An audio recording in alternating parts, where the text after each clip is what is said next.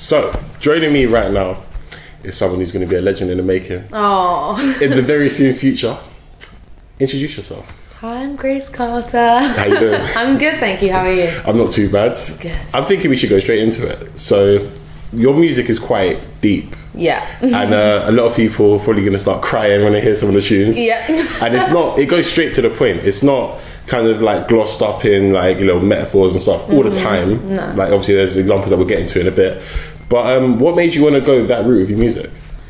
I that's the only reason I ever started writing music to be honest was to kind of get things off my chest and Yeah. process emotions I was feeling.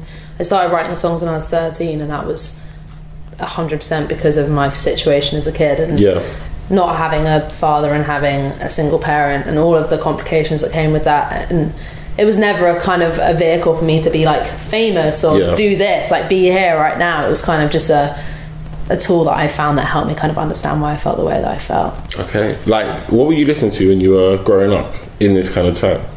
I was listening to like a lot of Nina Simone So old classics. yeah, and then, but then like Lauryn Hill, Destiny. I listen to what like everyone these days. Like you hear anyone my age, and they're like Lauryn Hill, Destiny's Child, but that's and India Arie. I was listening to all of those artists. Okay. Um, and then my mum just listens to like a whole load of different things and would play it in the car. So So then, how did that help to structure your music when it came to your time to make music? I don't. I think I'm definitely inspired by the songs that I grew up listening to, but I Yeah. think when it came to my own music, it was more the fact that all the artists that I loved growing up were artists that sang about their problems and the things that they were going through. Yeah. And it was all quite deep. um, so it was more kind of I felt confident enough in myself through listening to those people and hearing that they were so honest that I could be honest too. So Yeah. that's probably the way that they kind of influenced me. Okay, and let's move to the present day. Yeah. Let's go away from the past. And uh, your brand new single is out right now. Yes. Uh, how's it feel to release it? It's already got like what a thousand, hundred thousand streams on day one. Yeah, which has done was- well. And it's, yeah. We've got close to a million now. I don't even. I haven't checked. I try not to check because it freaks me out. But um, yeah, it's doing really, really. It was crazy. It was crazy. I I wrote that song quite a long time ago now, and it's been a song that I've always wanted to put out. Yeah. Like I've since I wrote it, I knew that I loved it. I played it to a few people, and it was they were like oh, way older than me, and they all cried, and I was like, hey, cool. This, This people are connect like people are connecting to this. Yeah. This is like it made me cry too. Um, so yeah, it's why her not me. It's just like a very important song to me. The meaning behind it and kind of how it helped me has been amazing. So, Yeah. Because what made you feel like now was the time to put that specific song out? because I think that's me. Like that Yeah. song is hundred percent me. Kind of a lot of my songs are about the same, th- not the same thing, but are influenced by the same thing, which is my childhood and growing up without a dad and growing up with the mu- just with my mum and the complicated, like how I felt about that as a kid and Yeah. um, and kind of got to the point where I just wanted people to get to know me a bit more Yeah. and kind of understand where I was coming from. Uh, I've released a lot of songs that kind of I think a lot of people would assume they're about a relationship, and Yeah. to other people they 100% should be and can be, but for me they're not. And why her not me is that song that kind of explains what I'm actually talking about in all of my music, which is my dad picking someone else over me, and that was songwriting was my way of kind of processing that and understanding why. So it just kind of felt right. Yeah. See, it's kind of like deeper when you break it down like that. Yeah, you it is So- really deep. You yeah. said deep before, but it just got a whole lot deeper. Yeah, just like listening to that, I'm just thinking, oh my days, there's a, I need to go back and listen to the song and just get a whole new perspective in there. yeah, it is. It is. It's really, it's really deep. But I also kind of, it helped me a lot, and I feel a lot better having written that song. And Yeah. as much as it's about that, like in other situations I've been in in my life, I can relate it to as well. And my friends that maybe haven't been through the same thing, or people that have heard it that maybe haven't been through the same thing, can relate it to a relationship, a Yeah. friendship. It's kind of like one of those songs that Yeah. I hope people can kind of put their lives onto. Definitely, because I feel like it opens up a window for everyone to like. If I've already looked like some of the comments, and people are like, "Yeah, I can relate to that." And it's like, "Yeah, Hmm. Yeah. my boyfriend left me." Yeah. Like, now listen to that. Yeah. like, no one's talking about, but it all makes sense in that. Like, and it's good because like I feel like probably you probably be able to answer this question better than I can. I'm not an artist, but Hmm. Yeah. like your songwriting has it helped you like learn more about yourself? A million percent. Before I started writing songs, I was a very complex person. I was a very stressed and like frustrated. I was a teenager as well, but I was just a very frustrated person. So songwriting kind of allowed me to understand myself and understand why I felt the things that I felt. Um, and in turn with that, it's helped me become a way happier, like smiley person. So yeah. So, is there going to be a change of uh, sound as you're more smiley now? I mean, I'm right. Yeah, I think when I first started writing songs, it was literally just to get things off my chest, and I always will be.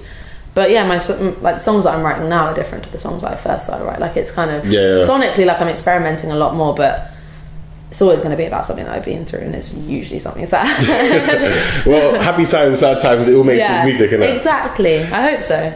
One thing we got to talk about as well is kind of the imagery that you use. So let's talk about the cigarette. Mm-hmm. Yeah. That kind of metaphor into what you're trying to explain Yeah. about again choosing something and why that's more significant. Mm-hmm. Like, what made you think of that as an example to use? Because I was, I was kind of when I was listening to the song, I was kind of taken away by that. bit. I was like, I didn't really think of ever anyone ever really using a cigarette in that way. As a metaphor, yeah. I think because I it was kind of an actual object in the situation. Yeah, yeah. And I would always kind of look and be like, why, why are you telling me that you're craving this thing that is so in, insignificant? It's a, it's a material, like it's so materialistic. It's like doesn't really mean anything. Yeah. And then when it comes to me, you don't really care. Like Yeah. you're not, you're not craving me like you're craving that cigarette right now. And it kind of, I just said that sentence when I was working with this guy Justin, and I, it was just like, yeah, that's what.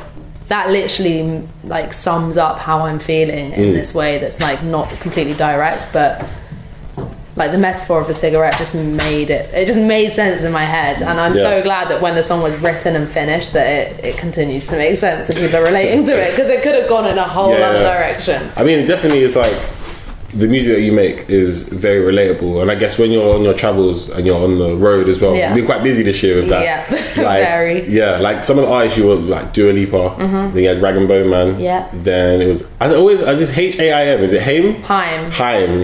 i think well they say Haim There's Haim then. because it's their surname Yeah, so i don't even know but yeah i call them Haim and yeah mabel yeah it's been pretty mental we did our first show ever show last september so it's not even been a year Yeah. and i released my first song silence last may so it's moved pretty quickly and Yeah, been yeah. pretty mental but it's yeah it's been amazing i love performing i love touring i love meeting new people i love seeing new places so yeah it's been pretty intense as well So then, with that, what you're saying, how does that kind of shape when you go back to the studio? Mm-hmm. Because obviously, when you're doing stuff like again, Festival and The Great Escape, that's a different experience than to doing Mm-hmm. Yeah. shows like that. So how do you kind of incorporate all of that and then to making or just recording music? Well, I think being on those tours and performing in those places, I've I've been very lucky to see that people are connecting to what I'm I'm doing and singing and singing and so it kind of just reminds me that like I'm doing something right kind of thing or like I must or not even like in a massive way but like Yeah, just yeah. stick to what I do and I don't ever question it. I just kind Yeah. of go back and I'm like this happened. Can we write about it? Because I just know that I've done shows and there've been like young girls and the like young way younger than me 14 like crying over a song that I wrote about something that probably they can't they don't know about. And it's like that to me it's so powerful and that's what I want to achieve every I don't want to make people sad but I want to make them feel like empowered It's sad in a good way, though. yeah, it's kind of like empowering. I hope. Well, that's like I don't want to depress with- people. Yeah, run with that and you'll be fine. yeah. But like, um, yeah. So then, what's one of the maddest things you've seen while you've been on your travels so far when it comes to performing? We went to um, we went to Kosovo a few weeks ago with um, Dua Lipa. Dua, Dua Lipa. Dua's dad Yeah. has this festival with Dua, and she kind of really nicely asked me to play. And we went out there, and it was one stage, and there was twelve thousand people. Mad. and I sang Silhouette actually. And for the first time, like I never ask anyone to do anything. So I'm like, if I ask them to clap or do anything, they're like not going to do it. It's going to Yeah. be so mortifying.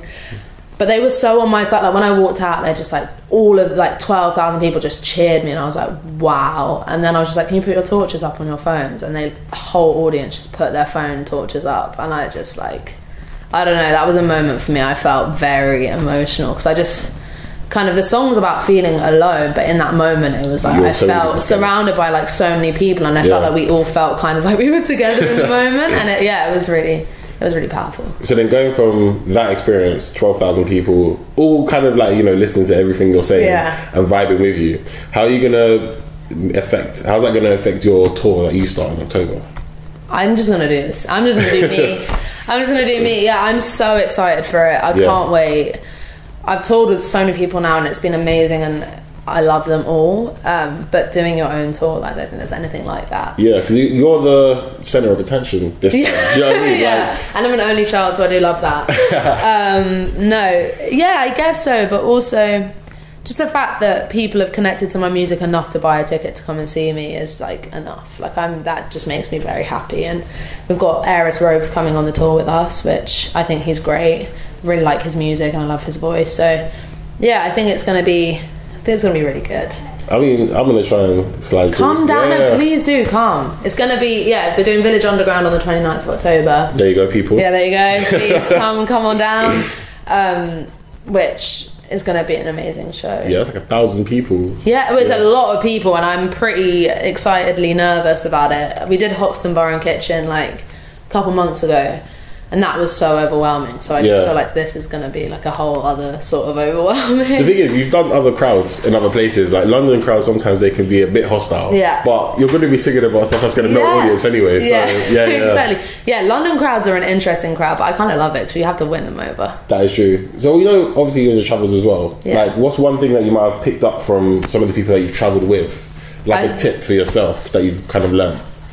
Everyone that I've travelled with, like they'll be having the worst day, but they'll just get on with it. They'll put a smile on their face and they'll just get on with it. And I think that's probably what I've learned from all of them. It's just like you're blessed to be in the situation you're in, so kind of just get on with it and have fun and make the most of it. Yeah, kind of spiritual there. Yeah, that was really deep. I don't know why that got so deep. I think Sorry. deep is the tone of the interview right now. oh my gosh, yeah. But um, so you got like Saving Grace EP came out June, right? Yes. Yeah, so it came out June. So we're kind of getting towards the end of the year into the new mm-hmm. year.